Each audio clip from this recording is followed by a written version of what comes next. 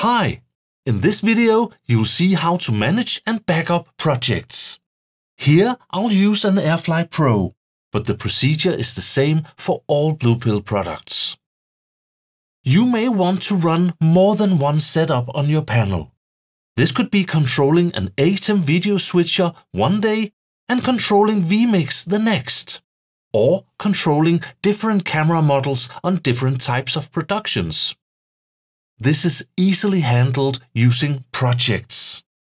You can store as many projects as you like, and switching between them is fast. You also use projects to make backups of your configurations. Let's look at Reactor, the configuration manager for Bluepill. First off, you should know there is no save button. All changes you make are automatically stored in the active project. On the Home tab, click Change Project to open the Manage Projects window. Here you see a list of your projects. You can create new project. You can open project details to edit or duplicate it. And you can delete projects. At all times, you'll have an active project. Here we activate another. A project consists of three parts. Panel collection. This is normally just your single panel, but a blue pill can manage other blue pill and Unisketch panels. Device collection. These are the third-party devices you control. And configuration.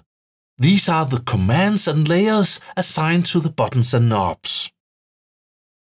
The three parts can be reused or referenced between projects. You can, for example, make a device collection with all your devices, and every time you create a new project, you reuse the same device collection. Click a project to see its details and make sure Show Advanced is enabled. Here you select which parts to use. When reusing a part, you'll see a notice regarding shared properties. Here you can decide whether to reference the original file or to make a new independent copy of it. If a part is referenced, making changes to it in any project that use it will affect them all. Please note, all projects are stored locally on the Bluepill device and only here. For this reason, we highly recommend that you export your projects, especially if you made your own custom configurations. That will be your only backup. Open the Manage Projects window. Click Import Export and click Export. Here you can select a project and choose which parts to include. We'll choose our first project and include all three parts. Hit Export to download the file to your computer. Check that the file is in your Downloads folder. Great! We now have a safety copy of our project. Remember, this is your only backup. Now, let's import the file again. In the Manage Projects window, click Import Export and select Import. Open the file browser and select the file we exported before click Upload and click Import. Since a project with the same name already exists, we are asked to solve this. We'll keep the Rename option and click Resolve. We are now asked if we want to activate this project. We click Yes. Now you see the imported project is displayed on the list, just having a number added to it.